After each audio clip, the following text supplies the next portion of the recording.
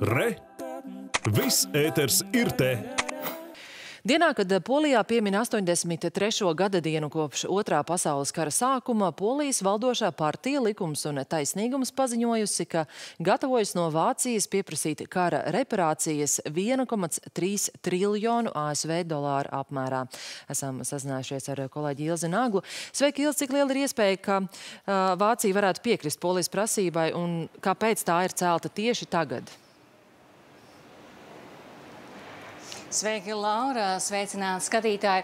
Jā, šis jaunais polijas aprēķins par otrā pasaules karā nodarītajiem zaudējumiem pārsniedz iepriekš izskanējušo no valdošās partijas likums un taisnīgums summu. Toreiz pirms trim gadiem tika sarēķināts, ka e, šis, šī summa ir 850 miljārdi un tagad ir 1,3 triljoni.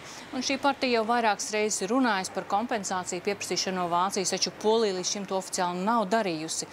Un tagad tiek solīts, ka šī summa 1,3 triljoni būs arī oficiāli noformēta kā oficiāla prasība Vācijai. Tomēr tajā pašā laikā arī politiķi atzīst, ka necer uz Vācijas lielu atsaucību šajā jautājumā. Un lūk, ko teica valdošās partijas līderis. Par tādām lietām ir jācīnās. Dažreiz jācīnās daudzu gadu garumā. Mēs nesolām, ka būs ātri panākumi. Mēs tikai sakām, ka polijas pienākums ir novērst zināmu robu mūsu kā suverēnās valsts darbībā. Mēs pieprasām to, kas jau sen bija jāpieprasa. Vācija iepriekš ir paziņojusi, ka visas ar Otro pasaules karu saistītās finansiālās prasības ir nokārtotas. Atgādināšu, ka 1953. gadā Polijas toreizējā komunistiskā valdība atteicās no visām pretenzijām uz kara reparācijām, toreiz pakļaujoties Padomjas Savienības spiedienam, kur tad vēlējās, lai Austrumvācija būtu brīva no jebkādām saistībām un prasībām. Polijas valdošā partija likums un taisnīgums tagad uzstāja, ka šī vienošanās vairs nav spēkā. Jāteic, ka šai partijai vispār ir saspīlētas attiecības ar Vāciju, un analītiķi pat kādreiz uzskata, ka dažbrīd šis saspīlējums tiek radīts mākslīgi, lai mobilizētu savus vēlētājus. Un atgādināšu arī, ka Varšava arī ļoti aktīvi kritizē Berlīnu par Vācijas atkarību no Krievijas gāzes un kavēšanos ar palīdzību sniegšanu Kievai. Tur arī vajadzēja, kāpēc tieši tagad, protams, konteksts ir arī 83. gada diena kopš otrā pasaules kara sākuma, kas tiek atzīmēta šodien. Visā Polijā notiek pasākumi. Un e, naciskā Vācija uzbruka tieši 1939. gada 1. septembrī, 4 no rīta. Savukārt 17. septembrī Polijai uzbruka Padomju Savienība. Un šīs abas kampaņas beidzās oktobra sākumā, kad Vācija un Padomju Savienība sadalīja un anektēja visu Poliju. Un šo te abu okupāciju rezultātā ir Polija piedzīvojusi milzīgus zaudējumus.